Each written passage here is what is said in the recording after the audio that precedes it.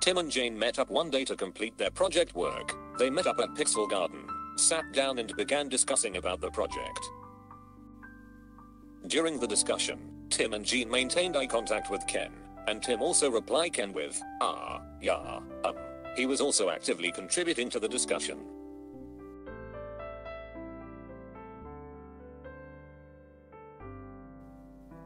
Thirty minutes has passed, and Ken starts to get bored, and started to use his phone. He was also tapping his finger while using his phone. After a while, Ken started to yawn, and Tim began to get irritated by the tapping sound Ken is making, and wanted to get Ken off his phone. Tim asked Ken for his opinion to grab his attention, as Jean has proposed a great point.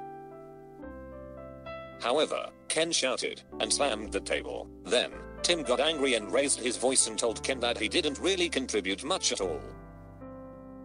Ken retaliated and started shouting and scolding Tim. Tim then continued to raise his voice and was emphasizing the importance of the project. This sparked a heated argument between Ken and Tim.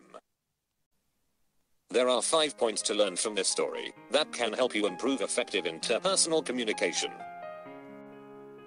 Firstly, Tim and Jane was keeping eye contact with Ken. This improved effective interpersonal communication, as it helps the listener to pay more attention to the speaker. Secondly, Tim used non-lexical conversation sounds, like, ah, yeah, um. This allows Ken to know that Tim is listening and paying attention.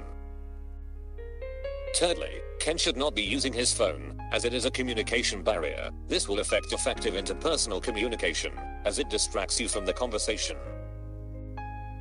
Fourthly, Ken tapping his finger would be a sign of a body language, which gives people the impression of him being impatient. The tapping of finger would annoy people and cause the wrong idea to be conveyed.